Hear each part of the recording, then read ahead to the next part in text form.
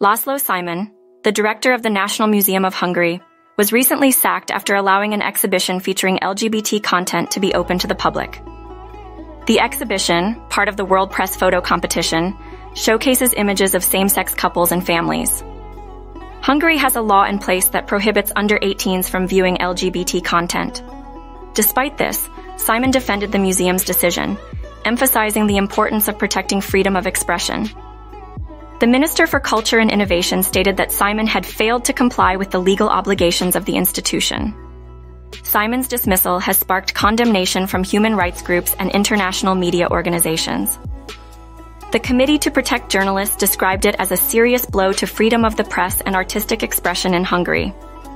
Reporters Without Borders called it an outrageous attack on freedom of expression, accusing the government of using the law to silence critics and create fear among LGBTQ individuals.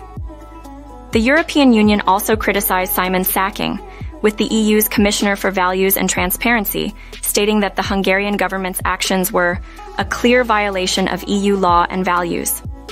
The sacking of Laszlo Simon highlights the ongoing struggle for freedom of expression and LGBTQ rights in Hungary.